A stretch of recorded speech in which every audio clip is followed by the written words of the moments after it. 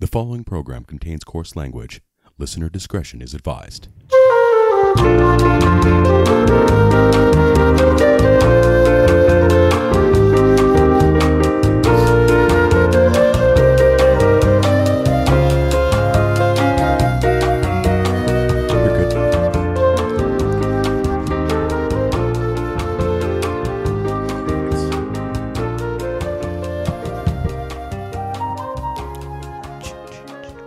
Hello, everybody. Welcome to another episode of the EF Word Podcast.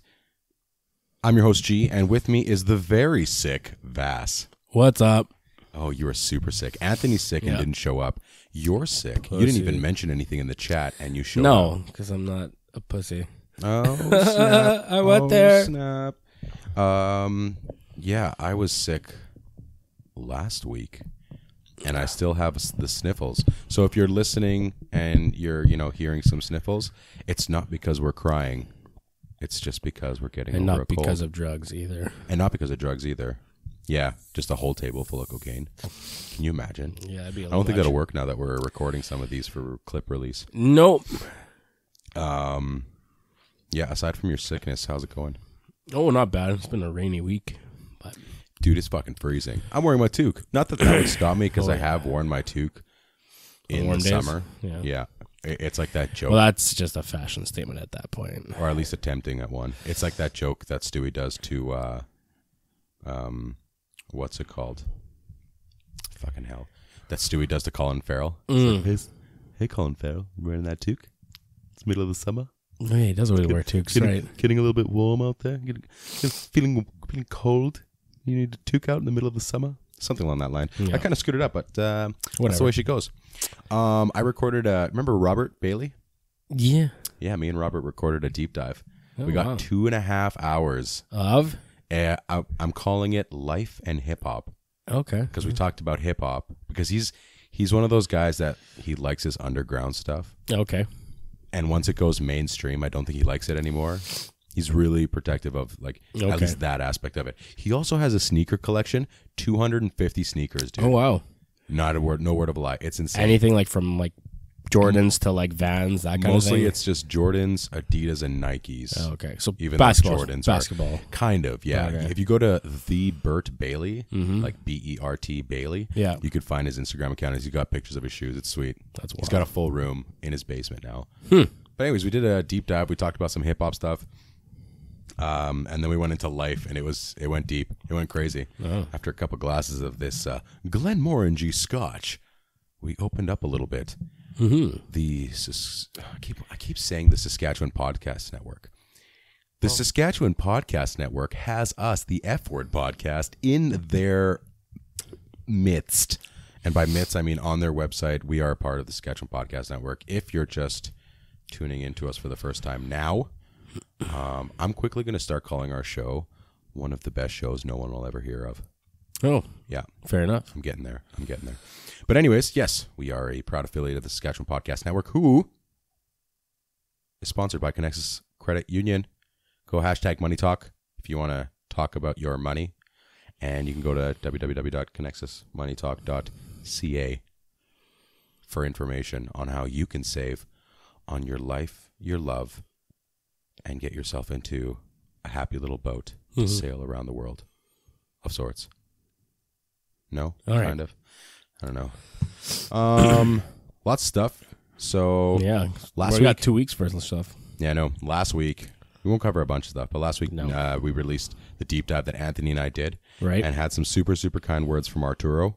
Um, if you go to the F4 podcast on Instagram, you can find it. Um, find it there, And Facebook. or you can go on Facebook. We posted his response. It was really cool, especially because like I wouldn't have been expect I wouldn't have expected us to make any impact whatsoever. Mm-hmm. Let alone one where he would say like, "Man, listening to your guys' story of how you started and, and everything from like the F the entertain facts account to now the EF word and everything in between and stuff." He's like, "It's crazy." He's like, "Because I can remember where I was during those specific episodes." Hmm. That's and it- again, I say this all the time because I think it's just awesome. Arturo was the first one or one of the first people to criticize only because I made a mistake with the Kingdom Hearts and Kingdom of Hearts. So I Oh. said Kingdom of Hearts, which is more like a fact already. check. It was, but he fact checked it, and it was the first time someone actually fact checked, Mm-hmm. And I got super nervous about it, and I was worried that we'd lose him as a fan, and turns out no. Um, so yeah, that's uh, that was sweet how that all started and how we got here now. Yeah. Uh, special, special, special shout out to my two friends, Taki, aka Panayoti, and Jomana, because they got married last week. Yeah. It was a fun time. Sophie and I were in Calgary. We had a good time seeing everybody. We saw uh, Dimitri from the Real Locker Room Talk. Right got some on. good pictures with him, and uh, yeah, it was a good time. Excellent. It was it was really really nice. Um, There'll have to be a collab one day. one day, oh, I, what I'm working on now is uh, I mentioned it. I think I mentioned it to Anthony or Robert that I'm going to get that Behringer back up and running, Mm-hmm. and uh, that way I can feed it directly to my phone, so I don't actually have to pay audio through my speaker, Okay. and then I can possibly do just a straight up phone call that'll feed right into the audio of Audacity. Mm-hmm. Uh, so that would be sweet. Nice. Um, also, every single time I keep forgetting to put this as a note. There's one dude that I haven't been, I haven't shouted out at all, and I kind of feel That's like a dick because he's kind of like our main guy on Facebook, and by main I mean he's the one that always likes our stuff, and that would be uh, Mr. Austin Ireland. Every single time I look on Facebook, he's liked our videos, our posts, or whatever. So, uh, Austin, if you're listening, man, um, I appreciate Silent it fan. every single time. Yeah. And then another one is Henry Greenberg. He's always kind of been in the mix as well. Uh, so yeah, I just want to keep making sure that I pay pay due to whoever is kind of like reaching out to us or, or like and paying more attention to it because, Yeah. uh, especially after Arturo sent that message, I was like, damn, Yeah. that it hits, it hit. Um, okay, all right. Uh, I don't know if that Robert deep dive, that Life in Hip Hop, is going to be released anytime soon. I might save it. I'm not sure. We're going to see. Just release I might, it. I might release it. Well, I, I'm having him listen to it. Oh, okay. So it's And- not done yet. No, it's it's Yeah. done. Oh, okay. Well, But whatever happens, I, happens. I could release it tomorrow if I wanted there to, you which go. I'm not. But I like to make sure that he's happy with it because he's in it. Yeah. And so far, he's enjoying it. And I that's sent it to Ethan too because we were talking hip hop, and he's like, "Dude, send it to me." yeah. All right. I guess we could start with uh, Spider Man. Go for it. He's fucking back. Yeah, and it's like I don't know what I I'm again I've I bet I was on the Marvel side of the whole confrontation. So mm-hmm. Sony smartened up in my opinion mm-hmm. and made it right. And they said one more, but they might this might be publicity, might be whatever. But I I love Tom Holland's response on his uh, Twitter account or Instagram, one of the two, Instagram account. Mm-hmm. Where he uh, he posted that little clip from Wolf of Wall Street with Jordan That was Belfort. It's like one. I'm not going anywhere. I'm not going anywhere. I'm not fucking going anywhere. That's funny about that. I didn't even see that when you sent it to me. oh, really? You And I didn't? was, no, no, no. I, I saw Oh. it after, but I was watching at work today because it was super dead at work. Oh, I was watching the B roll behind the scenes of the Wolf of Wall Street. Just Oh, randomly. okay, So yeah, that was yeah. actually funny That's that you hilarious, sent yeah. it, and it was that. But best response ever for him as the actor for sure. He's like, I'm not going anywhere now. Yeah.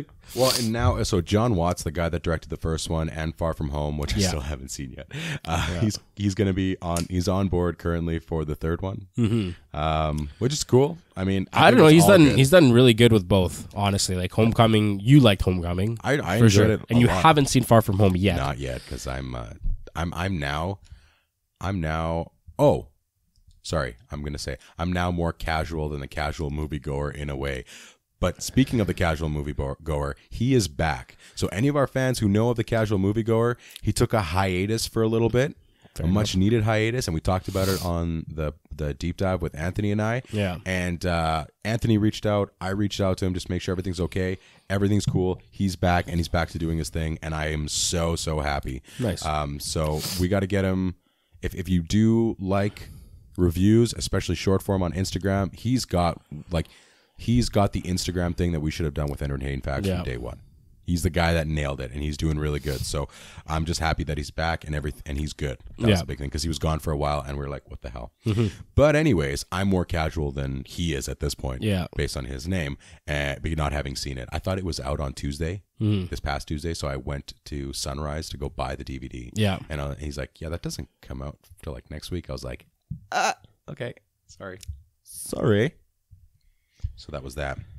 Um, I I have this theory that they never stopped negotiating, and Yeah, that they I- just told everybody that so Yeah. that the fucking fans can just chill, the fuck out. Yeah, maybe. Like, and they wouldn't have chilled because at, we all thought that he wasn't, it, well, nothing was going to happen. Yeah. But my guess is they put out whatever press releases they had put out to be like, no, it's not going to happen. And even the one guy's like, the door's closed for now. Yeah. I don't think the door ever closed. I think they've just been secretly working on it Yeah. because I think they knew they had to come to a conclusion one way or another. Now, obviously, they had massive, massive bug- back backlash because of it, not just from fans, but from like the stars. The Russo brothers spoke up about it, and just and like they did it respectfully. It's like you know it'd be a big mistake kind of thing. You know, it's not a it's not a good move kind of thing, right? It's, it's like without a doubt, and that's the thing. Praising Kevin Feige for what he's done with the with it. So listen, Sony's had their cracks at it and they only got it twice Yep. right. And Marvel's been able to do it. yeah, And it also helps that Marvel has those other movies to put him in, Yeah. like Infinity War and in um, Endgame. Well, even though it was like small portions in Endgame, Mm-hmm. Yeah. but enough there that it's like, oh, we can we can kind of grow with him in a short period of time. yeah, Um, and I've and I am one of those people now that I would say, as opposed to before, where I was actually more leaning towards Disney, then I was in the middle, and then I got more on Marvel side. You and Sony before. Oh, sorry, it was Sony. Yeah. Now more on on Marvel, Disney, whatever. Yeah. Uh, on their side, and I'm just glad that they figured that shit out because I think both can benefit from having Spider-Man in their worlds. Well, yeah, it's just let them quarterback it the way they know how to do it, and Mm-hmm. just come along for the ride at the end of the day, and come to a fair agreement at the Get end of the day. fucking money, man. yeah, that's it. Why make billions when we can make millions? exactly. And if they failed again, then they know that like that first movie that would have come out Yeah, from them would have had everything riding on it because if they would have screwed up, yeah, then some dude's gonna put a petition because but that would have been a huge. petitions. Let's be honest, that would have been a big risk and a blemish on the on that character, and and that's the thing. That's that's the shitty thing that would have happened is that it would have been a bad little bit of black mark on it totally. for uh for that kind of thing. Yeah, so I I don't know. I'm glad that they figured it out. I honestly think they were working on it the whole time. Yeah, Like, let's not have anybody i i- like get in the way of our Yeah. negotiations. Well, that's, That's on them too for advertising what they've advertised for the first part. They're the ones that control the media for the most part. Truth. So, yeah. I'm glad it's where it's at. And let's say they're doing the third. I think they're going to keep going no matter what. For as long as the Marvel universe is going to continue, Spider Man will always be in it, I think. For as long as Sony doesn't have to do jack shit, sit back, drink their mai tai, like, smoke we got their this. cigars, This and that- be like, "Oh, thanks for the money." They're like the money room guys, or no, they're like the guys in the movie Casino Yeah. that are are not allowed in Vegas. Yeah. So they're in the back of this grocery shop at this big table with a bl- single black light, and just waiting for that money to come in. Yeah. That's all they're doing. That's it. Um, I don't know where else to go. where else Going down your list, man. Yeah, yeah. Uh, Emmys teach me that I barely have. Oh yeah, I wrote this down. Emmys have taught me that I bar- have barely scratched the surface on how many shows there are out there. Oh, there's so many. And like different platforms now, like you. You gotta broaden out and get those other platforms, otherwise you're really missing out. Oh my god, it's so many. it's dude. nuts. I never the- even heard of Fleabag. See, that's the. It's on Amazon, so Hmm. I've been uh, watching a little more Amazon stuff now, and uh, Are you enjoying it? I very much so. Uh, but I'm I'm not watching Fleabag per No, se, yeah. but just in general, there's a lot of Amazon originals, and I'm like, they're in their first season, so it's kind of nice. You get that eight episodes, and you're done. You gotta, which is what Al Anthony mentioned the last time we were talking about, like, what do you like, the full bore, or do you like a little bit less? And it's like, it's nice that you don't have the full commitment, the eight episodes, and you're done. But then you're like, if you really like a series, you're like, ah, that's it. It's like I want more. so Um, yeah, there's. Uh, I, I'm surprised that Game of Thrones won as much as it did, especially for that Yeah. last season. yeah, it. uh, uh, outstanding drama series. Uh, no, not this time. yeah, what was it up against though? Oh. What do we say? You want to look it up? I'm looking up just the winners right now. I don't know what the nominations were, but It was up for almost every every category for sure. It had four. music is the only thing I would give it to, and I'd be like, go for it. I don't think it won anything for songs, did it? It's fucking weird. It should have. I, I honestly say the soundtrack was one of the best I've ever heard. Um, and the the um, the directors, the ones the what was it? The category for directors or whatever. Yep. But it was basically an episode winning. Uh, and Game of Thrones was up for four of them, like nominated four times, and it lost. No, Ozark won. Oh, nice. But that's the thing. It's like if it had to lose to anything, I'm glad it kind of lost to Ozark because the Ozark is amazingly written and a great series on its own too. Speaking of which, I didn't know that Jason Bateman had directed Reparations, a drama series. He won too. Repara- like the, it's an actual. I believe the show is called Oh, Reparations. interesting. Um, Jason Bateman directing drama series Reparations. Hmm. So I, I didn't see that. That's sweet. Interesting. Um, yeah, and now that you mentioned Ozark too, Yeah. I haven't seen the second season yet. First season's real good. Yeah, second Dude, let me season. see like- your eye. It's gotten better. Uh, Yeah, it's oh yeah, it's way better. back. Yeah, I had that eye thing too. That was weird. It was like half, half. It was like red. Yep. Um, of course, Peter Dinklage won. I He's mean, yeah. He, he's kind of the go-to who's always going to win, in my opinion, for that been supporting. giving it to him. Yeah, but I he's, he, he's earned it though. Let's be honest. Out of everything from that TV series, and especially, it's kind of it's kind of sh- tough to you know award so much to that Game of Thrones, especially because this is all about the last season, right? It's not about the entire series; it's just about the last season that showed up. And he did have the most lines. and he did have the most lines. He had the most uh, prolific lines to say where he could actually embody more of his character. Um, not everyone got that chance, so definitely they threw it to his court. Um, but everyone else was thrown into the ring too. Like Sophie Turner was thrown there. Emilia Clarke was thrown in there for supporting actress. Emilia Clarke was lead. Sorry. Was it lead? Okay, I think finally Amelia- found something. So, Game of Thrones won the outstanding drama series. Better Call Saul was on there. Oh, so good. Bodyguard. Um, Bodyguard should have won. Was great. hands down. Yeah, that was pretty good. So good. Killing Eve, Ozark. I heard Ozark was amazing. First season was good. Uh, I'm trying to see. Oh, I'm I'm actually choked. Russian Doll didn't win because I really really liked. What was it Russian up Doll. for? Drama? It was on uh, outstanding comedy series. Oh, Uh, but that was the Fleabag. But I haven't seen Fleabag, so I can't. yeah. I have no idea. So, lead actress was Emilia Clarke. Was up for it, Was up for it, yeah, and But then the- Robin Wright for House of Cards. which is surprising that House of Cards is even still going on, but whatever. Yeah, I think it was it was the final season, anyways. Yeah. But then Jodie Comer won for Killing Eve. Haven't seen it. Uh, Jason Bateman for Ozark. Oh, Ozark Reparations, the episode. Oh, there you go. Uh, directing for a drama series. That's what it looks like. Yeah, And you won. because Weiss and Benioff were nominated for the Iron Throne. David Nutter for the Last of the Starks.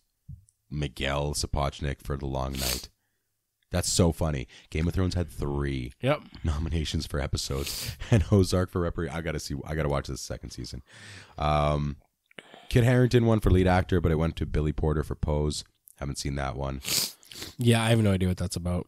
Um, Gwendoline Quist- Christie for Game of Thrones, Lena Headley, Sophie Turner, and Maisie Williams. They threw them all, in. for supporting actress, and then Julia Garner won for Ozark. Ozark was like taking them down. Honestly, though, Julia Garner did amazing for supporting actress. You and have I- seen the second season. I have seen the second Oh, season. Yeah, it's amazing. And her character gets way more into it. Like it's. I really like the first season. I don't know why I like haven't the gotten sec- the second one You'll yet. like the second a lot more. Trust me. Yeah, actually, you know what? All things considering, it didn't seem like Game of Thrones won that much. Aside from the they fact that they the nominated big for one. almost everything, but they won the drama series one, which is which the big one. is kind of a whatever. Mm-hmm. And then Peter Dinklage won for his.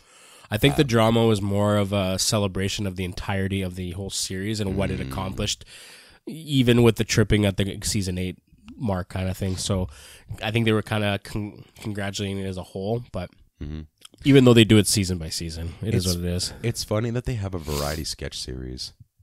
Even though I mean Saturday Night Live, I think wins all the time. I haven't looked at the history of it, but Yeah. there's two, four, five. Of I'm them. surprised that John Oliver won for a talk show. To be honest, yeah, last week tonight. It's a pretty popular one. is it's it because is it because he's very political? they're all political. No, Stephen no, no. political. Full Steven- frontal, Steven's- Daily Show.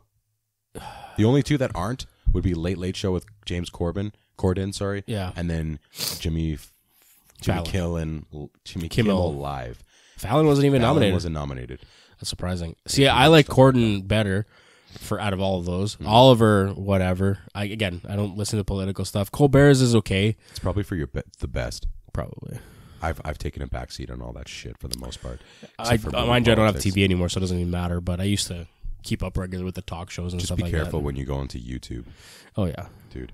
Uh, Michelle Williams won for a, a limited series or movie. I, she's an amazing actress, so Mm-hmm. fucking good for her. Patricia Arquette was also nominated. Um, Amy Adams. Aunjanu Ellis went for When They See Us, but I haven't seen When They See Us. I heard that's amazing too. Um, um, um, um, Black Mirror Bandersnatch one for television movie. Hmm. Yeah, there's a lot. I don't know. Interesting. That's fine. I just there's so much fucking shit here. Yeah. Like I, I'm going through this now, and I'm like, what the Yeah, fuck? I usually kind of enjoy watching the award shows because they're they're fun to watch. Whatever. Especially um, when they have Ricky Gervais, who Oh well, he's well, he he's wasn't this year. He's Golden Globes, not Emmys. sorry, Golden Globes. You're but right. Emmys Emmys is the one that sneaks up because that's all TV. yeah, So it, it Golden ki- Globes is like yeah. the, the the the backyard party of the So, Oscars. I don't know how if Emmys Emmys kicks off or ends all the year kind of thing. I would say Question. Okay, because well, it's, at the tail end of now, and then we don't get another award ceremony until January. I think. the I think it finishes it because we are now in the beginnings of the Oscar race. Sure, So maybe the Oscar race starts it. but the Oscars don't But I think- recognize TV. The Golden Globes are before the Oscars. Yes, they are. So because then- it's, it's a pre preemptive uh, preamble to Oscars, if you want to put it that way. It's That's a good fucking question. I don't know because you also have all those film festivals that also give awards. So one film could festivals argue, are one thing. That's different. Okay, I think. I think so they let's just look at the mainstream. It's basically like going to a weekend uh, getaway and like you won best couple. That's what those, in, in my opinion, that's what the festival s- ceremonies are all about. It's like, oh yeah, this guy, we really liked him this we- weekend, so he's gonna get the award. yeah, but they're they're big for I, independence. I get it, but I would argue that at this point, the independent movie reviews are better than the mainstream movie reviews because a lot of us can't even see these movies. But I don't know how many people actually pay attention, and, and like I know I pay attention to what's out, but I don't. Mm-hmm. I have for the last couple of years, I haven't seen a lot of the movies that have been coming out. However, I am getting my tickets for Joker tomorrow, so oh, I'm gonna go see it next Saturday. Oh, so we would have already recorded our episode, and then the day of release is when I'm gonna go see it. So I'll give them something to talk about. oh, very nice. Um, I guess we can go into Joker now. Go I for don't it. understand. Oh, yeah, I guess, yeah. Shooting thing. This is Well, he crazy. Well, I remember the fact that it's even on a conversation piece because uh, there was an interview with Joaquin Phoenix, and he actually walked off. And I thought he walked off because he was pissed off. He actually walked off because he was actually very distraught that he thought that his movie would, the movie that he's a part of and who he portrays, would uh, give that kind of. Uh, resonate with someone in that negative manner and he'd be associated with something like like that um, and, the, and and they're now comparing it to the Dark Knight shooting. Exactly. So I mean, it's very, very coincidental. It could very well be the same group, and the fact is that they've. This is Well, I don't know if it was an actual group. I think it was true. individuals for the. it could have been individuals for sure. Um, they're- but now these ones are copycat, let's say, or doing whatever who it may be. The fact that there's chatter and it's preemptive and everyone kind of there's an already a little bit of a heads up that hey it's gonna happen at a major city you don't because know somebody which one said it too. exactly Like well there's that- actually plans that they found. yeah, yeah. on- that's on what they announced. They said that there is uh, chatter in the dark web, and that's where they said it happened in through the dark web that they're gonna do this at the Joker premiere or showing, but you don't know which theater, you don't know which night, you don't know which showing. So that makes it even worse, kind of knowing, but not knowing at all. So it's like do theaters now have to have like metal detectors, which isn't a terrible idea to be honest, but Well, that seems like ridiculous too. I think if you're, I mean, in the states where you can carry guns, I think someone had sent a picture of a guy at like 7-Eleven with a huge automatic rifle on the back on his back, which and is he's just allowed to. it's crazy. Yeah. To us as Canadians, and probably to the rest of the world, it seems excessive. Like Very you don't need one at a 7-Eleven. Yeah, an AR-15. No thanks. Um, yeah, I, I mean, we're almost the complete opposite. We're, Mm-hmm. we're so fucked up here sometimes that if someone breaks into your house and you do something to them, you get fucking sued. Like, Yeah. come on, yeah. get the fuck out of here. Well, I think the states has that a little bit too. No, they have justifiable homicide. Oh, really? Yeah, Well, so- I- justifiable homicide in the sense that you're defending yourself when they have a weapon too. For sure, but Let's most, say most that- persons, most people that come in will have some type of a weapon. So if they come at you with a bat and you hit them with a chair, blunt instrument, right? That's that's an accidental death. If you go for like the full on like I'm gonna beat the shit out of this guy, then that's a totally different scenario. But like we're talking, you just straight up shoot this guy, and he dies in your living room. Then or he dies or injured, injured very much. Then yeah, See, I, I don't know what the fuck I would do if someone even even with the rules that there are, like if someone's coming in and starting to like to, to start some shit, like Mm-hmm. I don't know, do I have to wait for him to hit me first and then I can hit him back with equal Yeah. force? Like I don't know the exact rules. Yeah. I do know a cop though, so I could ask them. yeah. Um. Anyways, I I really hope that this is just a hoax. To be honest. Yeah, Um, it's re- it's really sad that it's like and like you said, we talked about it. Like it's just a movie for goodness sake. Like why? Like what's it- the point? How many movies have come out since The Dark Knight and this Joker movie? I don't understand what the Joker per se has to do with it. I understand the ethos behind him, Yeah, but I don't know how you could watch it and want to go out and cause shit like that. Yeah. Even yeah, sure, it has real world violence, but what hasn't since then and before then and will continue after Yeah. Mm-hmm. Like, I don't know. Someone could No, I'm not going to say it. No, I'm not going to say it. But I'm just going to say this. Someone could take Thanos' ideals and really apply it if they wanted to in a way. yeah, Not really not realistically, but like could have that mentality. Yeah. I don't think it matters that it's a Joker and I I really hope that a nothing happens. Obviously. That's the number one thing and and I hope this is just something that a bunch of shitheads are talking about in the dark web cuz that's Yeah. what they can do.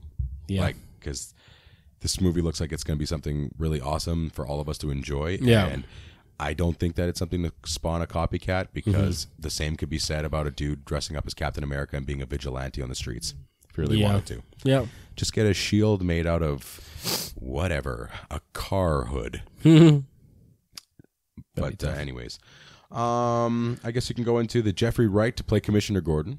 That's, a pretty good one. sweet. I, I like him. He's good. He's got that. He's got that nice uh, commanding voice every time. got a but presence, but it's man. so funny that he was Peoples Hernandez in the original in Shaft. Yeah, Yo, I not the original, not No, the original the one. the second Yeah, yeah. remake in The- the the- two thousands. The first one was Samuel Jackson, which also has No, no. I think the first ever Shaft was actually older than that. no, no, no. I'm saying this is the first one with Samuel Jackson. Oh, the yeah, yeah. original had the original Shaft, who was in the remake with Samuel Jackson. Yes, yes, yes, who yes. played his uncle. Yeah, And then also, if people pay attention, a young Christian Bale who plays the douchiest of douchiest of bags ever. Yup. Like, oh man, yeah. so brutal. But Peoples Hernandez. That's hilarious. People's, he was so good as oh, People's too. 100 percent. Uh, yeah, I'm super excited for that. I think that's a great call. Yep. Uh, and then there's been teases of Jonah Hill wanting to be, um, I think, one he's going to be, or he's either going to be, or in talks of, and he's Yeah. asking for a shit ton of money. But nobody knows what he's going to play. I don't Yeah. understand why he Riddle is on the table. If he's not Penguin, I don't want to see it. I, he's not as big as he used to be. So Jonah Hill yeah. it doesn't matter. Neither is Chris Hemsworth. And look what, what Oh, that's- how big of a beautiful bastard they That's made him. true. And the Penguin in the Gotham series, he's not big. I guess I'm. Well, I'm, no, I'm, in the I'm Gotham always. series they made him super skinny. yeah, right? yeah, yeah. I'm just going back to seeing. I remember Danny DeVito. so That's why. good. But I Uh, mean, and and the TV series always had him chubby for some so reason. So picture well because that's his character, right? Yeah. But picture a Jonah Hill as a Donnie Azoff or whatever his name is from Wolf of Wall Street Yeah, as the Penguin. that'd be interesting. You know what I mean? Yeah, And then the Wolf of Wall Street ends up being a prequel to the Penguin. Oh, nailed it. Perfect. Sorry, to the Batman. The Wolf of Wall Street is a prequel to the Batman where Eh, he turns different into era, Penguin. Huh? different era, isn't it? Uh, it's before. It was like 90s. So, Oh, yeah. I mean, depending on when this Batman is, It's probably not going to happen. But No. I think, yeah, Penguin is the way to Uh, go. yeah, it'd be interesting for Jonah Hill. I think it'd be way better than a Riddler. Yeah. I don't know who would be a good Riddler. No, I don't know either. Um, yeah. If Again, do you if stick- Joaquin you- Phoenix wasn't the Joker, he'd play a pretty decent. Yeah, he'd Riddler, I think. Yeah, actually, I could see him more as a Two Face as well. Yeah, but I really want Jon Hamm as Two Face.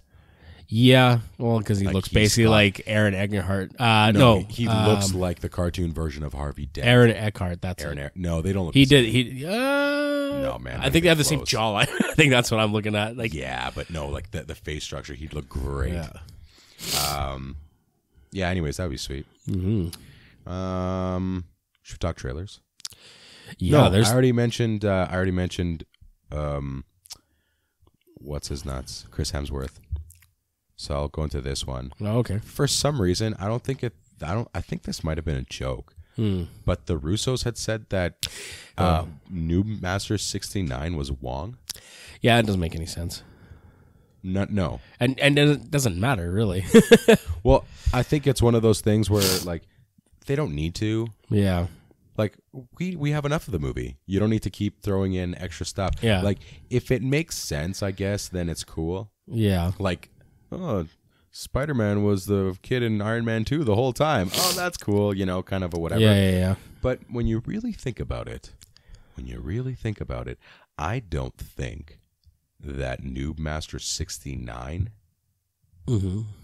is Wong for the reasons that we talked about in the chat. One of which is the the the status of the fucking servers Mm-hmm. five years later, which I know Oh, yeah, I know yeah, we got onto it. Yeah, I'm trying to that's like- see where I'm trying to I see. that's a looks like- conversation for a whole other time. I think I, think I got it. I think I got it. I think I found it. Uh, Russo brothers with the check mark. Yeah, we just want to confirm that Noob Master 69 was Wong. Nope, not not real. Um, but it just doesn't make sense. Why? Unless Wong was really pretending to cry and call for his dad to throw off Thor, but why is Wong playing Fortnite? yeah. I mean, I could see Korg and the rest of them, but I went to a deeper, which you guys didn't feel like you wanted to go that deep. But I'm saying that there's there wasn't enough, there isn't enough tech support to run a Fortnite server five years That's what after you the think. snap. Just saying. Think about the Fortnite staff that they have to run the servers. Half of them are gone. The other half can keep it going. Can they though? Yes, they can. Would they want to go back though? Yeah, they would. Eventually, they would. so. They want a, some semblance of their life eventually to just go on in mourning and beyond that. It's not doesn't make sense. Everything would try to. only five years. Yeah, but you're telling me that because of this snap, the whole thing is shut down or back to the Stone Age, and no one's going to do anything. No, they're going to keep essentials running. Mm-hmm. Eventually, they would have got to the point where they wanted the luxuries of everything back. So yeah, that was available. See, my thing is, this is what I put it. Yeah. I This is know. directly from the chat. All of Hawkeye's family was gone. Okay, So that's the 50 unlucky. 50 thing didn't seem to work there. And so there's a high probability that the ma- the, ma- the majority of the tech people monitoring and maintaining the servers for Fortnite at the least would have either all been snapped and left one guy, and then that one guy would have had to find somebody else who can run a server. And their whole idea was like, you know, it's been two and a half years. Everyone's vanished. How about you come over here and we run these Fortnite servers because Thor and Korg want to, and now Wong. Again, I find your theory very flawed, only for the fact that you're trying to say that within a room, 50% are gone. So right now, if the snap happened, one of us would be gone. No, it's just 50% of everybody. But that's why I brought this up, where Hawkeye's thing was his whole family was gone, all Yeah. five of them. So in that uh, server, there could have been four. One, two, Kate, three, four. th- two boys, and his wife. Yeah, Four. So four of them. Okay. So no, th- I'm not saying that it's just it's 50-50 that Oh, way. okay. I'm saying that even if the rules are 50-50, he was the only one left out of his family of five. Okay. So in these servers, even if you take even just that probability, and there's a thousand people working there, a good chunk of them are gone, and they're not thinking about the servers. Then they've got to worry about okay, well, how long are we going to take? Then we got to go back and dust off all of our boxes. And then get this server back up and running to, to Yeah, get like I understand getting back to your real life, but I don't know, man. Anthony also made a point that I, I don't know if this is legit, but um, it just doesn't make sense that why would why would Wong pretend to be a kid when Thor was like, "Oh, you go cry to your dad" and everything like Yeah, that, yeah, yeah. and then he got off the server. Um, but he mentioned something that the the world of the universe of that of the MCU, I guess, is more technologically advanced, and I don't know. Like we know that Stark Tower was the first self-sustaining Yeah. building, but we don't know if that's echo or if that's been moved on to everything else, or if he's just kept the toys for himself, Mm-hmm. which it seems like he has. It's possible. I don't know, man. Not But- uh, not enough Teslas are being driven around there. Screw Tesla.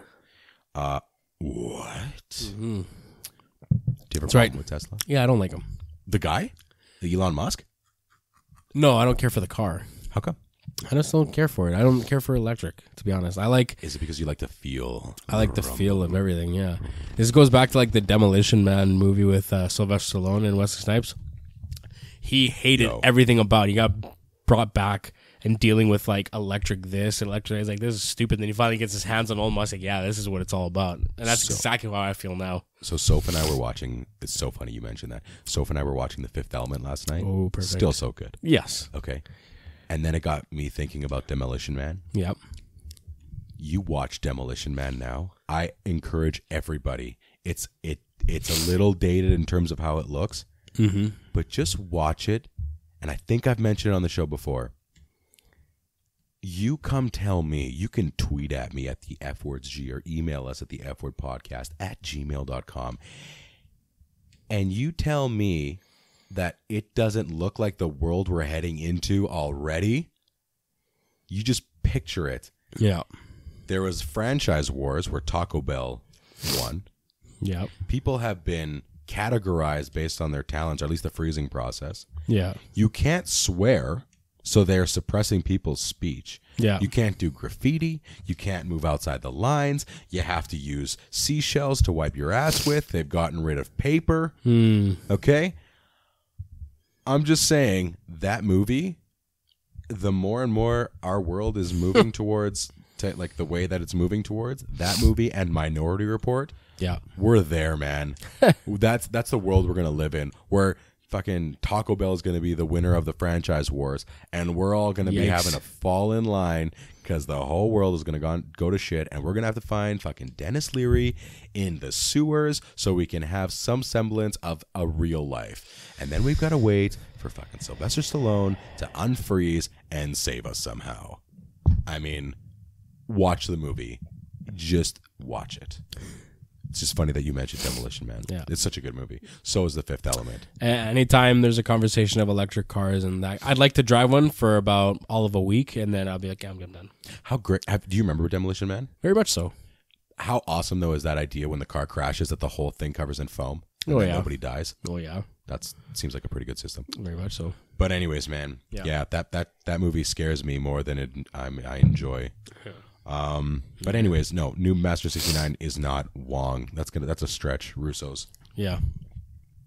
Russo's.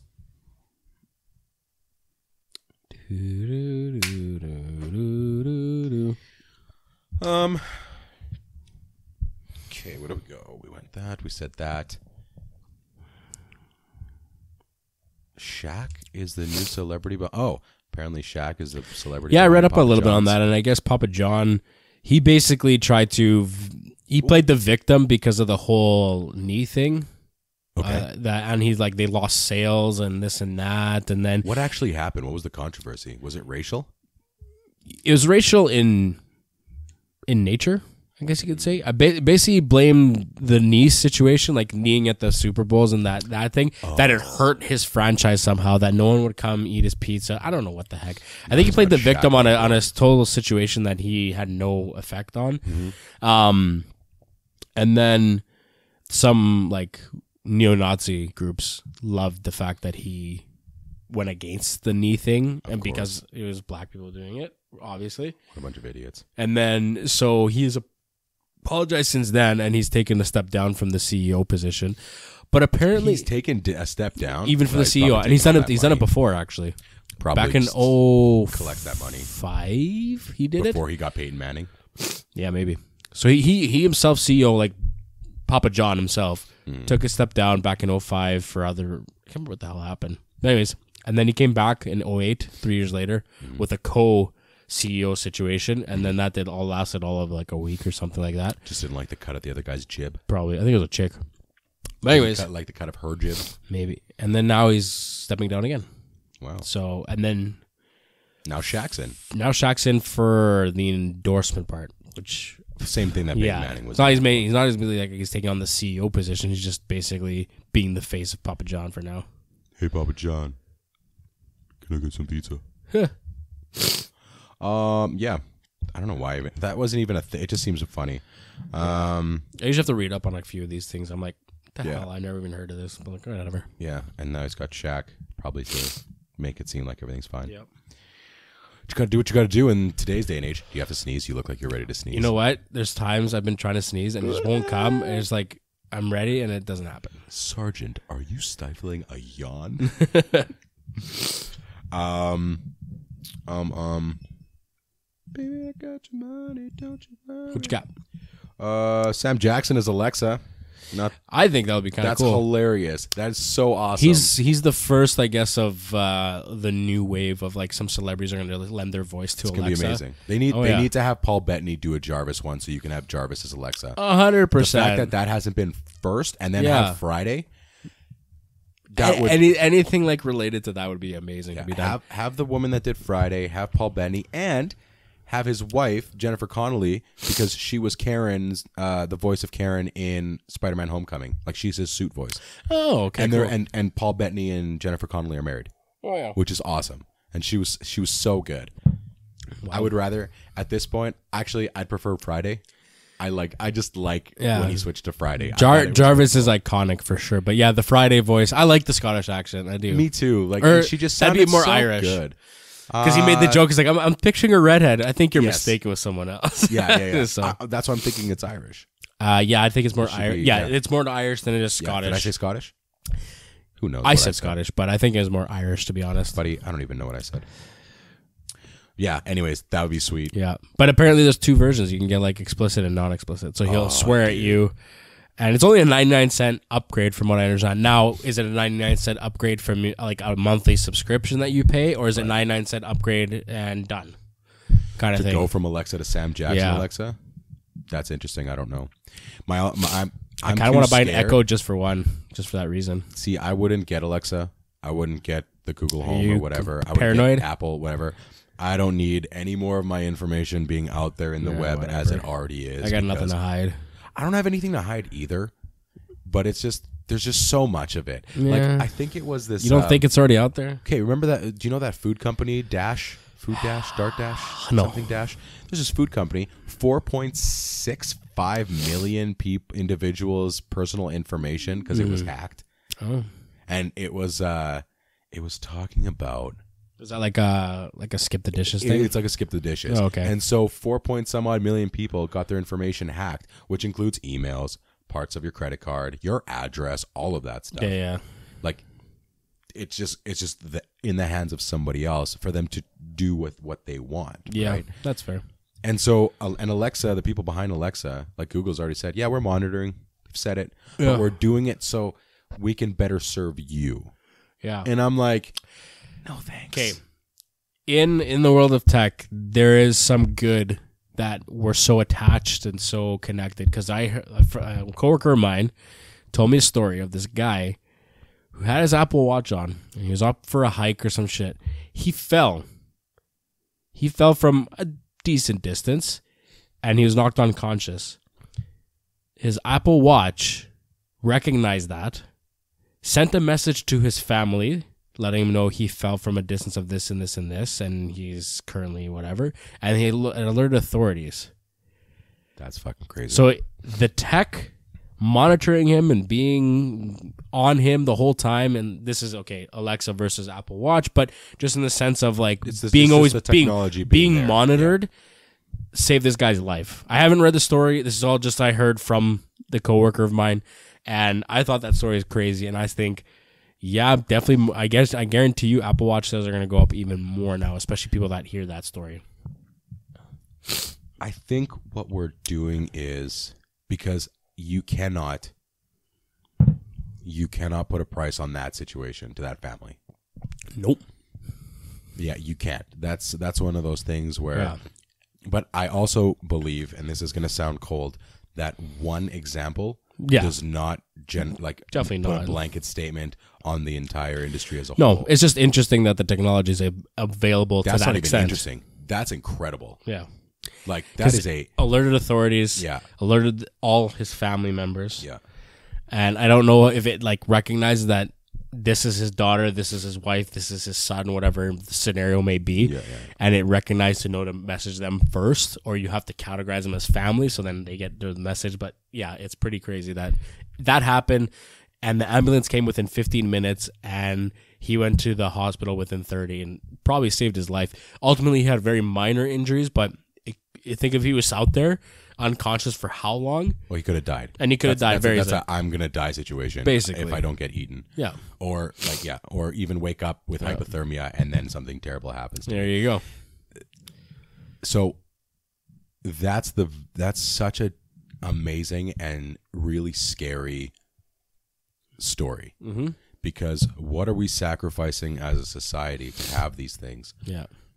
and how are we how is it going to go from there where Mm-hmm. listen it saved this one guy's life that is a fucking miracle even if you don't believe in miracles or just a miracle of technology Yeah. and like, like i said there's no price you can put on that man's life to that family or Mm. Yeah. anybody like we, we shouldn't be pricing out people's lives No. but the further it goes Mm-hmm.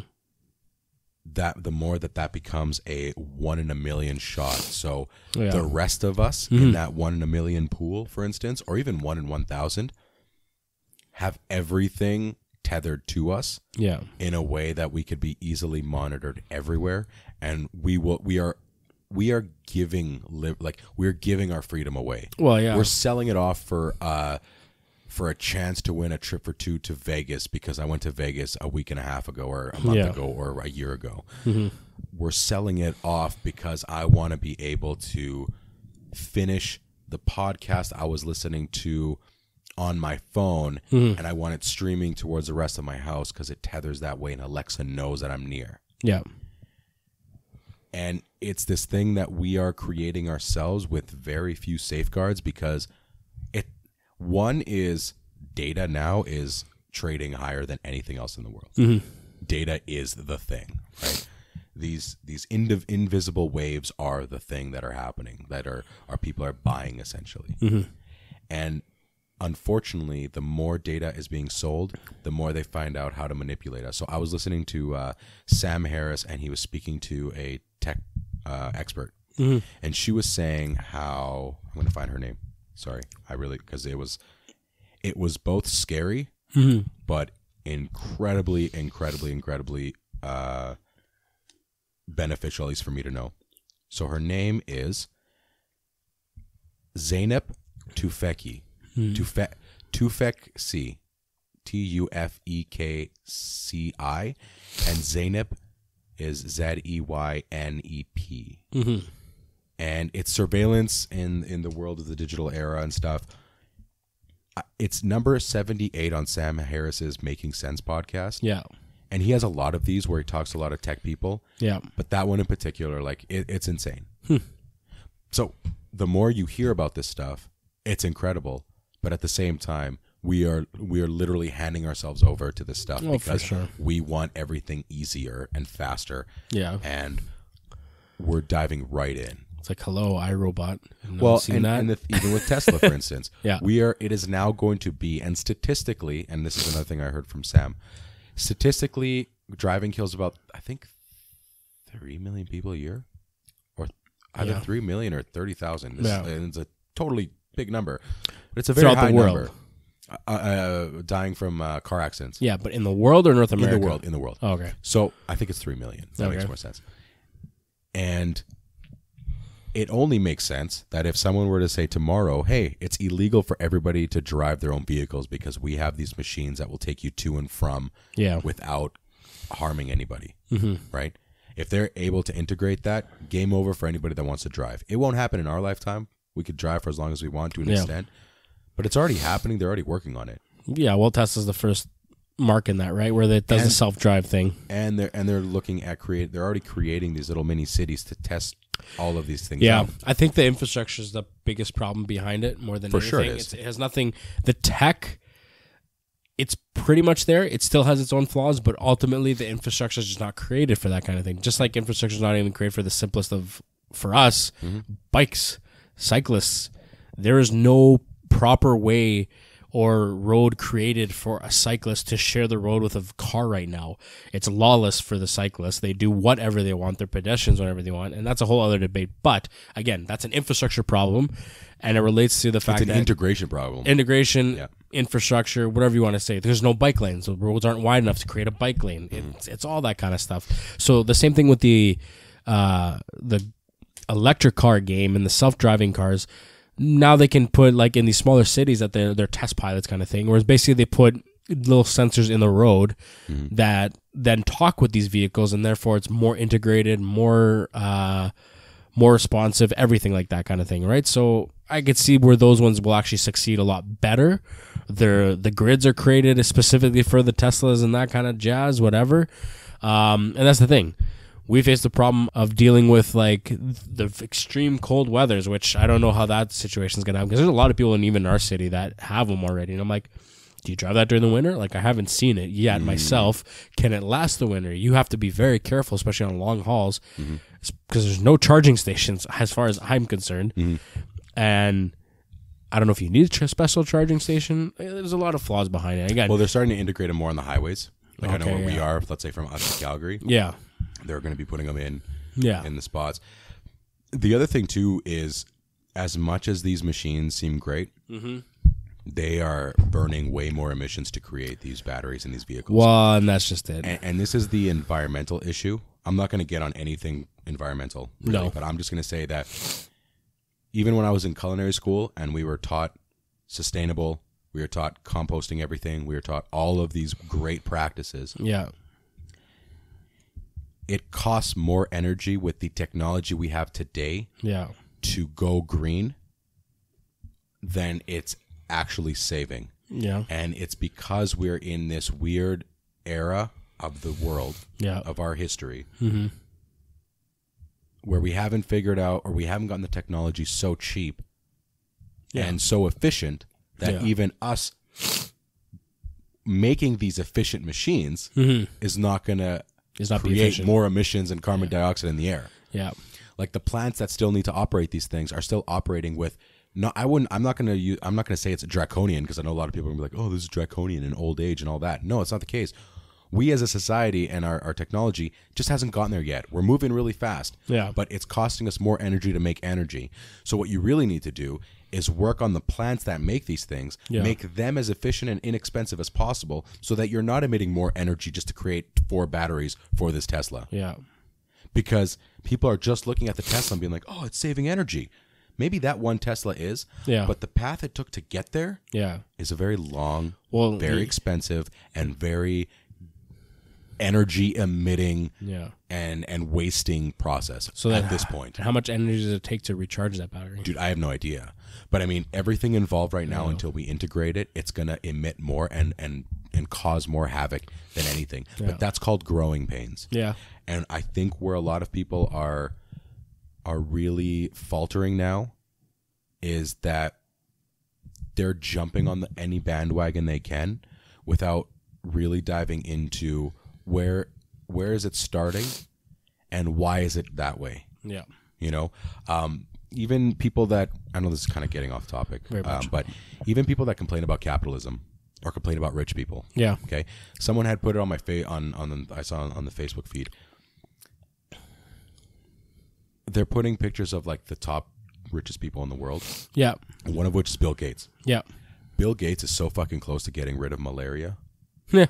And he's and he's so, and he's invested so much of his money into saving people's lives, and it's because he has that money, True. and he's investing as much as he can in it. The other thing is, look at our TVs. Mm-hmm. I don't remember if I've ever mentioned this on the show before, but it used to cost thousands of dollars to get a 60 inch TV. Yeah. And a very small percentage of the people could afford it. And guess what? Those were the rich people. Mm-hmm. And they created a demand for gigantic TVs that we can now buy for $199 at a Costco. What used to cost us like six, seven grand. Every model will now like always even like OLED's the newest and greatest thing right now. Yeah. And it costs like we're talking fifteen hundred for like the forty inch. Yep. And it's like two two three thousand for the 50, 60 inch or whatever. But give it a few years, it'll be in the hundreds. They're, they're getting Eventually, super yeah. cheap. yeah. Well, it, it always has that shelf life. Like plasma came out. But it's, it's plasma, not that. plasma. No, I'm just saying plasma and LCD in general, like those, like like this, like the tech market, they started out really, really high. They're worth nothing now, almost now. LED's the new thing, and then OLED, OLED is the newest of greatest, and that for LED's the cheapest. But the reason is because there was a demand for it, so they For kept sure. making them. And Yeah. then what happened is they got more efficient at making these computers or these Mm-hmm. um, TVs.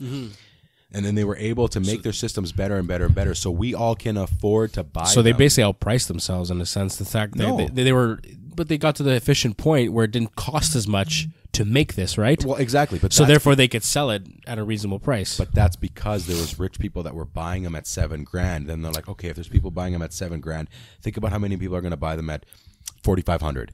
Yeah. And then they kept lowering it and lowering it and finding more and more of a demand. their volume went But up. But it cost so much money to make them back then. yes. Now Yeah, we've crossed over that technological period where it's actually quite efficient to make these televisions. Yeah. and therefore the TVs cost less for us. I have a s- I've got a 50 inch TV in my room Mm-hmm. that I remember I paid three hundred dollars for. Mm-hmm. That would have been fifteen hundred dollars four or five years ago. Yep. So that path, if you look at that, I believe that's very analogous to the energy emissions that are going to be saved from a single Tesla Yeah. once we get the technology so the guys that are making them at the plants are more efficient and are able to to sustain their businesses run them more efficiently lower their costs and pump out teslas let's say at a mm-hmm. cheaper price so people can buy them because right now teslas are the new giant tvs that only a select few can purchase Yeah. And uh, but like everything else you need to you need to allow the technology to integrate itself into our society and you need to let it i this is my thought process. You need to let it get to that point where we can. Hmm. Because sometimes guess what? You can't do it. Mm-hmm. It's nobody's fault. We're just not there yet. Yep. but because we're running at an at at a double the pace every year people are expecting to, to happen now. Yeah. it's like that's not how it works, bud. I don't even know how we. Oh, we got it on here from Demolition Man. yep. Um, but anyways, Jurassic World three, bringing back Laura Dern, Sam Neill, and Jeff Goldblum.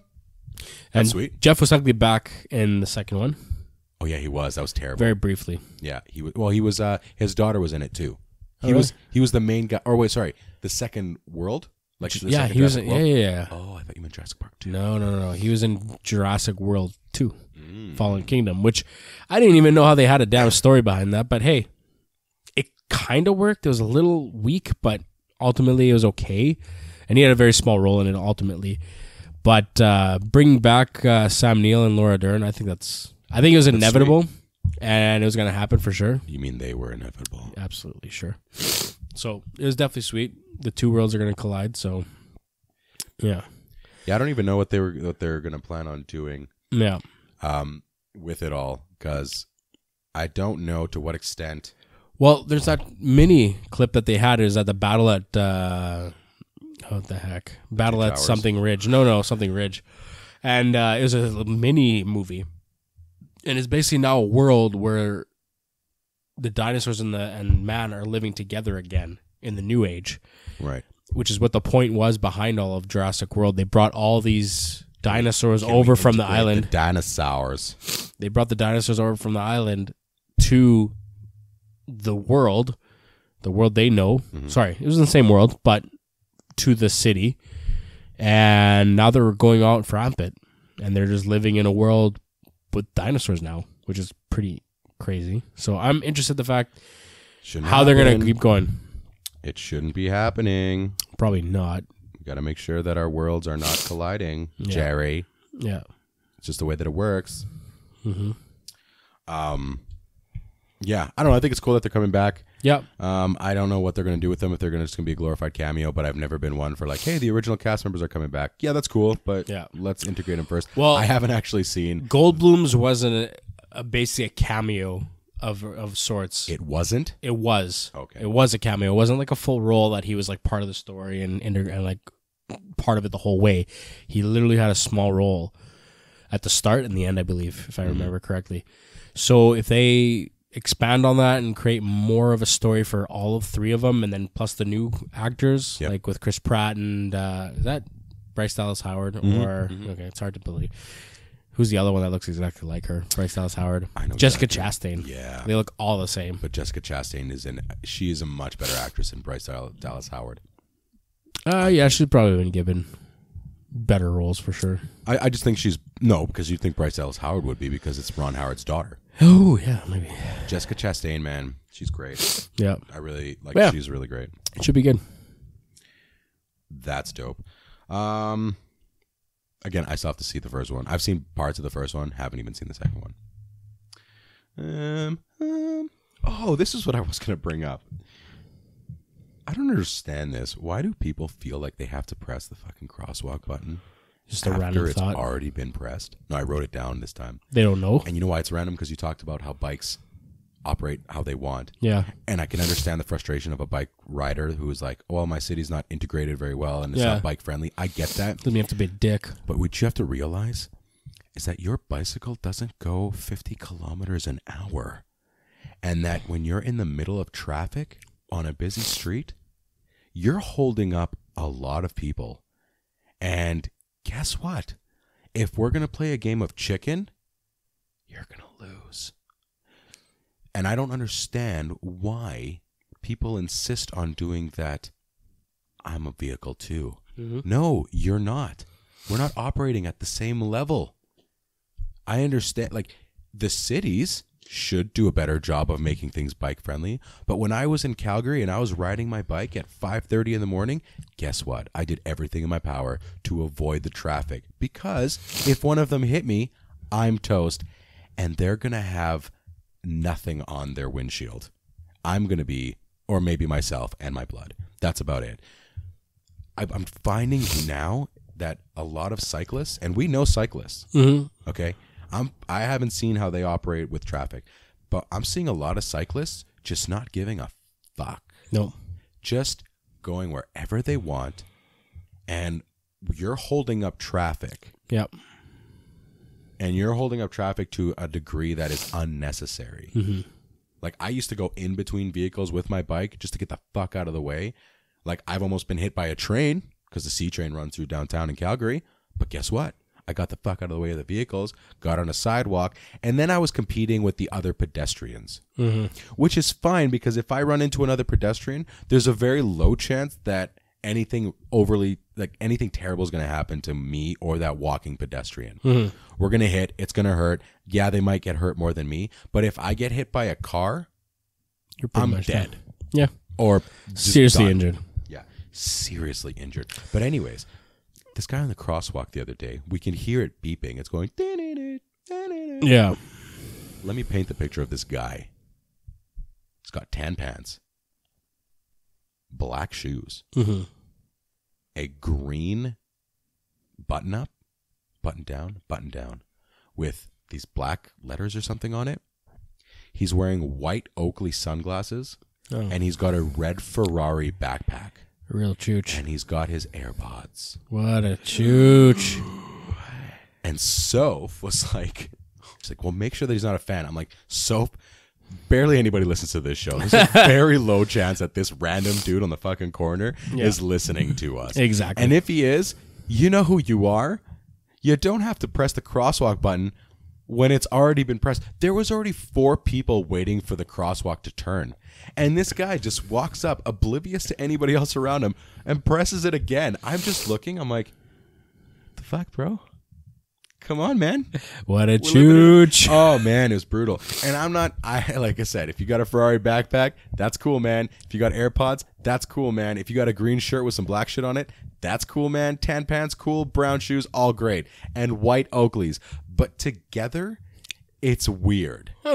And when you operate like that, then your outfit and your actions are just telling me you like to live out loud.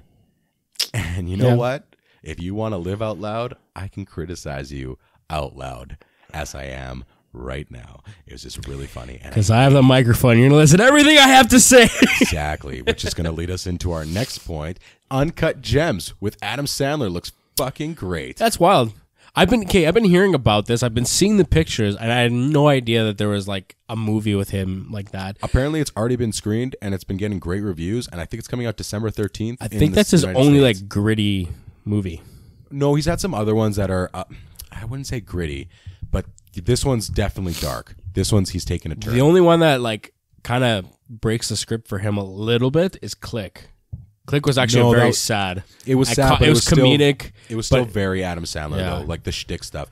I would say Spanglish was a big one, which I Oh yeah. Okay, I haven't Punch seen. Drunk Love was also pretty, or Funny People. I think it was Funny People or I Punch hated Drunk funny Love. people. You didn't I like Funny People? hated funny people. I don't know why.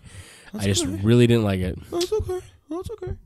Um, and then I would say his least Adam Sandler movie, even though it's kind of a mix as his least and his most, because it's my favorite Adam Sandler movie, is The Wedding Singer. Oh yeah, I, I adore that one. but was anyways, great. this Uncut Gems trailer, looks great. this movie looks awesome. Like I said, This is it's gonna be- wild, yeah. and I'm like in a good way. This could possibly do not that it that not that Denzel needed it, but Training Day.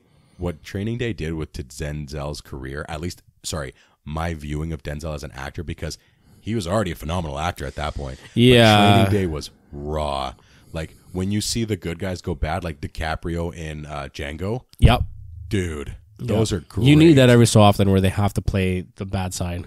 This one, not necessarily that he's going to be a bad guy, but he kind of is. But it looks Yeah. like he's going to be getting he's himself shady. some real shady shit. Yeah. which is great. Um, no, I'm glad you liked it too. I know you messaged me after. You're like, dude. I was like, I know. Yeah, Um, Irishman trailer, full trailer. I know. Amazing. the only thing I'm amazing. concerned about, What's that? the only thing I'm concerned about, is that I guess a producer on there or someone involved with it said something about it tackling toxic masculinity, and I don't think that Scorsese would actually use those words. I don't like hearing the term toxic masculinity. Well, number one, given the era, doesn't matter. It's supposed to emulate masculinity. Well, Hundred percent. I, I don't think masculinity. I think what she meant is that it's tackling men's need Mm-hmm. to close themselves off and allowing themselves to be vulnerable with other men in an era that was like, this is how men acted. And I'm thinking what she's using is that anything outside of that is quote unquote toxic. But hey, that's what happens when you have generation after generation of a gender being told you're not supposed to show your emotions. You're supposed to tough it out and move the fuck on. Basically. So if Scorsese tackles it from an introspective way, a level where it's um it's these men having kind of internal conflicts for the acts that they're doing Yeah. that is that's not toxic masculinity that is just breaking barriers within themselves i think Well, we already kind of got that with The Sopranos when you think about it, because one oh amazing like James Gandolfini was a mob boss beyond mob bosses. He was feared by all, revered by all, and respected. Mm-hmm. But yet he broke down, and he had that fear and anxiety and other health problems, of course. that's I I argue that's why the sopranos was so great Yeah, so it's like to bring it to light and call it toxic. It's not toxic. That's just how it is. well i think the reason i think the, the the reason that i reacted to that is because toxic masculinity has turned into such a, a key phrase for people Well, and let's be honest, a woman reviewing that seems a little bit biased. No, no, no. She's not reviewing it. She's someone. Actually, She's brought I think it- she's, she's a, a producer on it. Yeah, yeah, Okay. yeah. So, uh, but my thing is, I think what she views as toxic masculinity is is actually something more introspective and and more more important. Mm-hmm. And I think that that phrase, just for me personally, this could be this could very well be a me problem. Okay. That's why I'm not turning it into a big thing. I just don't like when people use that word. Just like if someone said, "Hey, there's toxic femininity or feminism," it's like, yeah, don't use the phrase. Yeah. Just, just we know. there's we we like, we kind of understand that this is how things are, and I might be spinning my wheels and not making sense right now, but there's. And, and this is kind of like a thing of like, oh, I was listening. I was actually listening to something today where it simply said, if you're having trouble finding the words to say something, you don't actually know what you're talking about. But then I heard another thing saying that was like, well, no, just some people don't have the vocabulary available to them at the time to explain what they're wanting to explain. Oh, yeah, but anyways, You'll think about it. The thing is, you'll I'll remember. It. you'll I'll- remember I'll- later, I'll like, man, I know exactly how to say I'll it. have it perfectly outlined tonight. Yeah. But anyways, I, I just that was the one thing that kind of was like, eh. But that's also one of those things. It's a phrase used now that's being thrown around like crazy. Just like the second you hear feminism, people think it's bad, like automatically. yeah. Just because you say there's this woman's a feminist, it's not that she's a bad person. Yeah. It's not a bad thing. I think you can use it in bad ways, mm-hmm. but it's not a bad trigger word, right? And I think I've been kind of when I the more I, that's why I'm phasing myself out of the politics stuff is because I don't like these words actually affecting it. Anyways, the trailer looked great. The movie looked great. There's that one CGI part with uh, De Niro when he was a soldier. If you freeze frame it, someone freeze framed it. Yeah. It looked kind of Call of Duty Okay. li- like the CG, the the de aging didn't look that that good, but Yeah. It was a trailer. I think with massive actions, I think the se- the de aging might not be able to catch up with what's going on on the screen. I mean, It's it- tough, man. I'm still saying Captain Marvel's was outstanding still to this day. Yeah. I haven't seen de aging as good as what they did with Sam Jackson and Phil Coulson. Keep forgetting his real name, Clark Gregg in Captain Marvel. Yeah. Outstanding. Um, El Camino trailer. amazing. We got okay. We got a teaser. It was like nothing but everything. the funny thing is, the Emmys gave us a teaser, yes, it was like a and now we got a full trailer. it was like a minute teaser. And Yeah. this one was a full two and a half minute trailer. and all that was was uh, the other one was just basically uh, the what the hell was the teaser all about? Can't remember. But anyways, it was really good, just enough to kind of see what's kind of going on. and it's coming out super fast. I'm gonna be in Vegas when it comes out, so I'm choked. I can't Oh see it. no! And it's uh, yeah, October 11th, right? Yeah, man. That's cute. Um, also, was funny because Ethan had said this to me, and I was gonna play it off like I didn't go through this. Mm-hmm. He's like, "Oh man," he's like, "I'm such an idiot." He's like, "El Camino is the car that he got away with." And for a second, I was gonna be like, "Yeah, no kidding." I'm like, "But no, I couldn't do it." I'm like, "Dude, I I thought the exact same thing." I think I might have realized it before he texted it to me, but we might have realized it at the same time. I was like, "Oh, El Camino's the car that he Yeah. got away with." Like the fucking idiot. Like I'm looking, I'm thinking to myself. And then when Okay, he said that, I was honestly, like, for me, I don't remember the ser- the finale very well. So when it first came, out, it was called El Camino. I didn't get it, but as soon as I saw a clip, I'm like, oh, the car. it's the car. Yeah, I'm like, that makes sense. That's why I think it took him that time and me. It's just funny that it's it- Who's the guy that he talked to at the end when he says, "Are you ready?" He's like, "Yeah." I, I don't know. who he was apparently talking okay. I think it's who uh, Jimmy had set him up with originally to get out. The guy that does the uh, escaping, like or not Yes, the escaping. because remember uh, he puts he bailed on it. Yeah, he yeah. he bailed on him, right? I So didn't see any vacuums in the back, yeah, whatever. but I yeah, I don't know if he I don't know if he went to his shop. So yeah, it could be that vacuum guy. So yeah, uh, he's the guy that uh, yeah he got rid. He he makes people disappear. yeah, well he made he made Walter White basically. Yeah. Exactly. So he yeah he erased them and all that stuff, and he ended up coming back. Whatever. Did he send him to North Dakota? Is that where he sent him? Yeah, somewhere north. But anyways, so close to us. but Walter could have uh, visited Saskatchewan. yeah, you see him. That's gonna be so good. I think. Like Hey, the man. fact that it's only a movie Yeah. kind of sucks. No, I'm stoked. That's perfect. But yeah, maybe it's good. I'm Otherwise, otherwise a mini series would be the only thing worth it in the sense of like we're talking six episodes. he's on the run though. That's the thing. So how long are you going to carry on this on the run thing? Yeah. That's the problem with Prison Break. Prison Break milked their very theme way too much. I think they the could end. have like, left in the. They could have stopped at like season two, oh, it would have been a great two season run and that's for it. sure. The other thing too is the more like when you think about it, Mhm. um, Jesse Pinkman's, Pinkman's character was supposed to die at the end of season one. Oh yeah, That's what's so crazy about the whole thing. Mhm. And then you're looking at it and you're like, fucking Jesse, man, now you got your own movie. yeah. It's awesome. I I know for a fact, not for a fact. I can't say this for a fact, but Walter White is dead. There's been some things like, is Walter alive? Yeah, no. Listen, he It wouldn't be be. alive because I actually just want it to be. Or sorry, he better be dead. I'm Oh, okay, sorry. I was gonna say like, for, excuse me. thanks for giving me the look to stop, um, because this is Jesse's movie. yeah, I think like it, will This be is a way like- to conclude yeah. Jesse's story.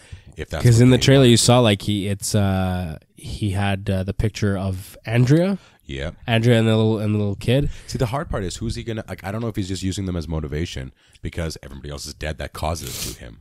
Well, yeah, You know, basically. and pretty much everybody else is dead that could be a part of it. Well, there's potential. I don't know if there's rumor or speculation that uh, Saul Goodman, so uh, whatever his character is, Do you think he's gonna run? You think Bob Odenkirk's gonna run into him? Yeah, it's okay. The battery's dead. yeah. So uh, that's gonna run into each other. that's a potential one. That's a potential that he might be involved. And actually, I'm very behind on Better Call Saul, and I kind of want to. that show's great. I kind of want to keep. I, I like. I'm, I can't remember. I'm a season or two behind. They could have it converge. yeah, in its own way, or the fact that he just shows up in that season, whatever. Because I don't know where he's at at this point. Again, Better Call Saul's a prequel, and during the events, I believe. So, Um, last thing, is a big one.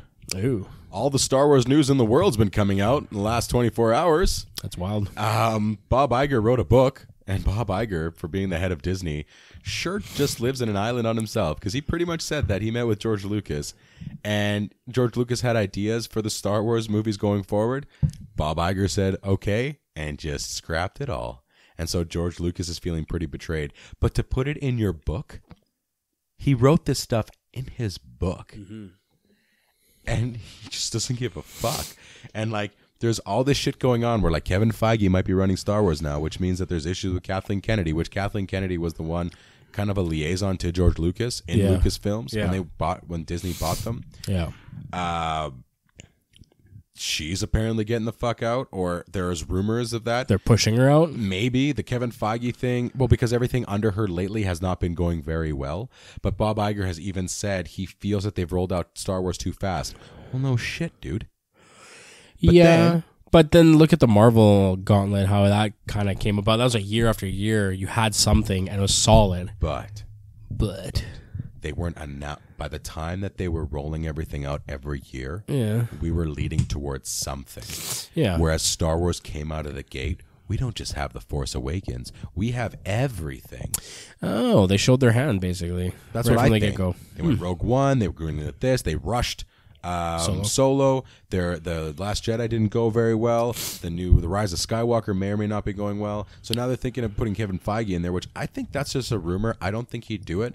And then they also talked about Brie Larson joining Star Wars, like heading the next trilogy, like putting her front and center to lead the next trilogy. And maybe that's because of the backlash she's gotten for being Captain Marvel and how nobody wants her to lead the Avengers. Yeah. I've said this before on the show. Brie Larson is a good actress. Just go watch The Room with her and J- uh, Jacob Tremblay. yeah. That is an outstanding performance. yeah. Okay? I just didn't like what she was doing with Marvel and how she was using Marvel to create this own Yeah. campaign for herself. And then the movie was terrible. And it was this whole thing of just let's rewrite history so that she's the most important person in the world. Yeah. And yeah, anyways. So they're looking at putting her in Star Wars, and then supposedly Chris Evans also wants to throw his hat into Star Wars. Well, that's fucking stupid. Like, mm. I get it when you grow up, everyone says, "Oh, Star Wars was such an inspiration." I don't think it's like that for all actors. But You don't think he, it's a good idea to put him in there? No, fuck. He's Captain America at this point. If you want to put like now it just seems like, oh, Kevin Feige's doing it. Kevin Feige's my friend. If Kevin Feige's doing it, then Brie Larson, who Kevin Feige worships the ground she walks on for some reason, um, if he's doing it, then I can go in it because uh, Star Wars is a big franchise and blah blah blah. But it's like, no, dude, pick something else. You didn't even want to do. You weren't even wanting to do Captain America to begin with, and then you were saying you were going to take a break for a while. Yeah. And now you want to get into a Star Wars film because Kevin Feige's in charge. I get it. We can all bow down to Feige for the fact that he like created the MCU Yeah. and not basically he created the MCU and took it as far with his vision and everything like that. Mm-hmm. I don't think it's a good idea for him to tackle Star Wars because I don't think we need more Star Wars in our lives, You know what? If and I don't think the MCU characters need to transfer over to do Star Wars movies now. Yeah. because then it's just going to be this in incest filled pool that Disney is putting together where all of their characters from other franchises are going into other ones. Yeah. And it's like, all right, why don't you just add something a little bit extra? Mm-hmm. But I understand that the the headline Brie Larson and Chris Evans to star in new Star Wars film is a sounds pretty deal. good. Yeah. It's it's a big deal, Mm-hmm. right? Anyways, it, there's a lot of Star Wars shit going on, and none of it sounds very promising for Star Wars fans. The only thing I don't know who's gonna be at the helm of it. And Bob Iger's a fucking idiot, even though for being the CEO of Disney, like, and a bit of a dick for what he did to George Lucas. If that, if all of, if what he wrote in his book, which I've read the th- quote, and what he said, because George Lucas wanted to put stuff like invo- like he wanted to double down on the midi-chlorians, which isn't a good idea. No. Um, but he wanted to flesh it out. But Bob Iger, again, like I said, like like I said, like I heard, like I've read, he just said, and he said, quote in his book that he's just like told him yes and did something else entirely. All right, it's a dick move, A little bit. a little bit. But anyways, oh, you're gonna sneeze. Are we gonna get it? Need it. Do it. Do it. Just not into the microphone. It's not gonna happen anyways. Oh, damn, so close. Anyways, the thoughts. Yeah. no, on, honestly, like I'd be, I'd be pretty excited for some decent. Listen, as long as the material's good and it's worth it. If we get a series of Rogue One esque type of things, That raw is really good. Tell me you wouldn't be excited for that. Oh, well, they are doing. Um, they're the doing a lot of Mandalorian stuff Star- alone Yeah, looks and that- amazing because it's not just it's not just movies; it's also TV series are involved in that, right? for sure. So but- the are you bringing up the whole thing? well, let me let me let me read Yeah. this for you. So I read um, it, but you can read it is- for yeah, the fans. Did I send it to you?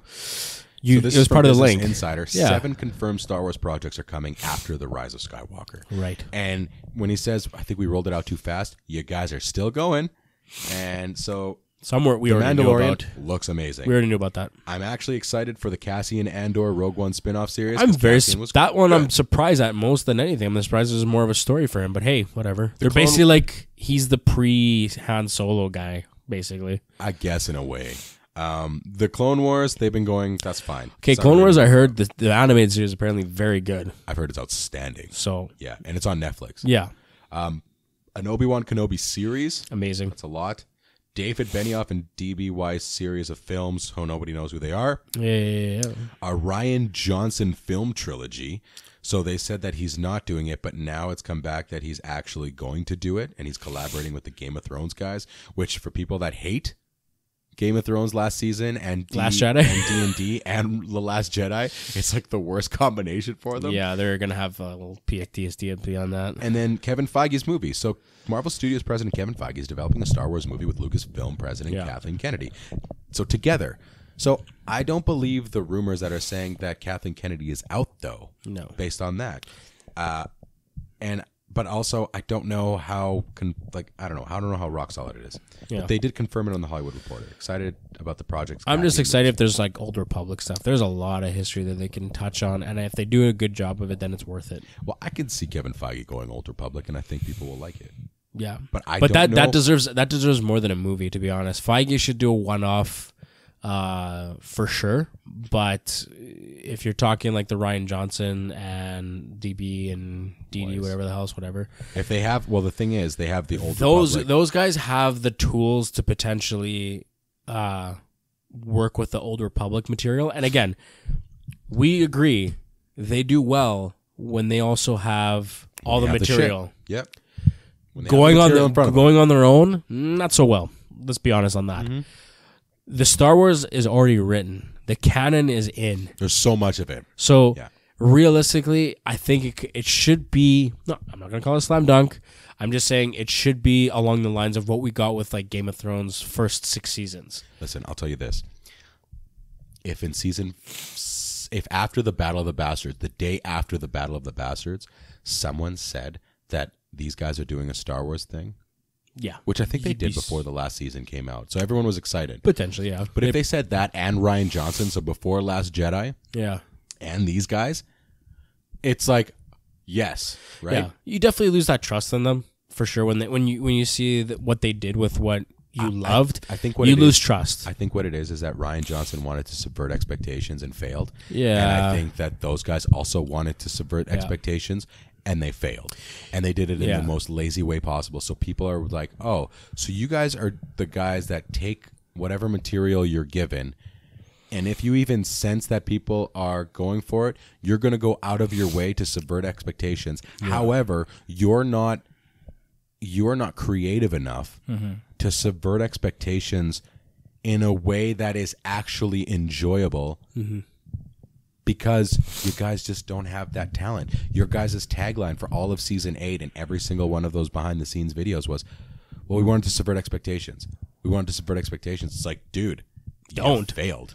Just go with your story that you created. Don't subvert expectations based on the like the the theories that were going around. Like, there's nothing wrong with fan service. Honestly, it's done effectively. true true fans aren't going to be butthurt about a little bit of leaks here and there about the information. They want to see the finished product. I'm that I'm one of those people too. I don't normally care for spoilers. There's a few that I'm like, okay, I don't want to hear anymore. Like Avengers Endgame. We got way too many mm. trailers behind it, right? A lot of it threw us off. A lot of it was for nothing. But ultimately, I'm like, I just couldn't see past a certain point. And I was like, okay, I had a breaking point. I saw what I saw up to a certain point, and that's it. But most people don't care if they catch a spoiler here and there, especially for a minimal thing like, uh, okay, Jon's gonna ride a dragon. Yeah, we fucking know it. We don't need to see it either. I, I, I want sorry, we don't need to hear about it before. I want to see it. Even if I do, I'm gonna I'm gonna hear it. So I'm probably not making sense now, but that's okay. No, it's, making sense. That's all right. But anyways, yeah, I'm not a care. I don't care about spoilers. So you don't need to go the route of subverting the ex- people's expectations and ruining your product and what you had. Because again, rumor you talking about it, or a friend of ours was talking about it, and he said like what they had originally was a masterpiece and could have been amazing, and they I fucking ruined it. heard that leak. I was like, holy shit, Yeah. that was great. So I don't know. Whatever. It is what it is. We'll see what happens. We'll have more information. I'm We'll going to try to be optimistic about it, and I think they again with the material that's given to them, and again, it's going to be a lot easier for them to create a, a more beefy story. Again, the even the games, which then draw from the books and so on and so forth. So Yeah, I, I'm just. Um, I don't know. I, I just don't. Uh, I, what I I don't. I really don't care at the end of the day. yeah, What yeah, I you're never really excited for about the Star Wars stuff anyway. What I Were you excited for Force Awakens? Yeah. But Yeah, beyond was- that, you're like whatever. Yeah. After that, I was just like, this is fine. And then now there's like there's so much of them, and I'm like, all right, that's cool. Yeah, What I don't want. So this is the issue I had with the. Um,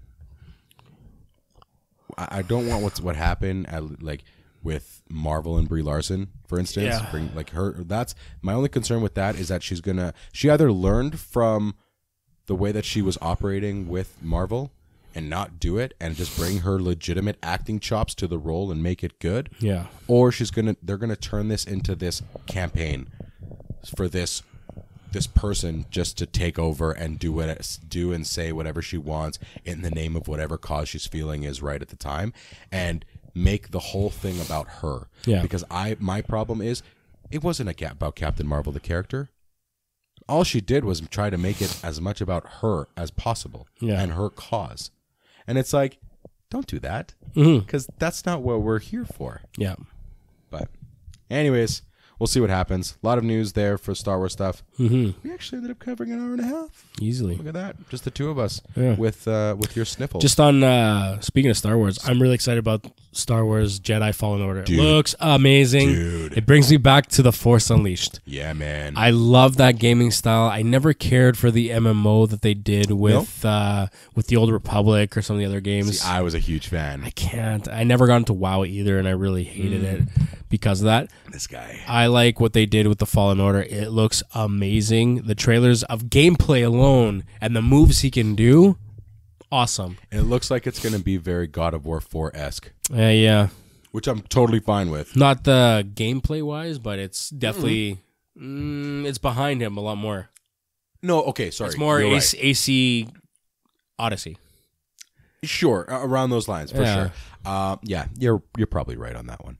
Either way, it looks really good. I'm a huge fan of Cameron Monaghan. I think he's great.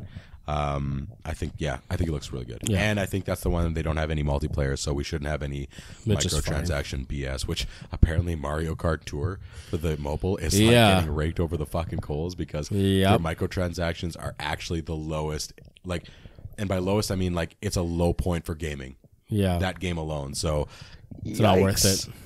I'll play my original N64. Thank you very much. Exactly. All right. Or even the new ones are pretty fun. the new ones are fun.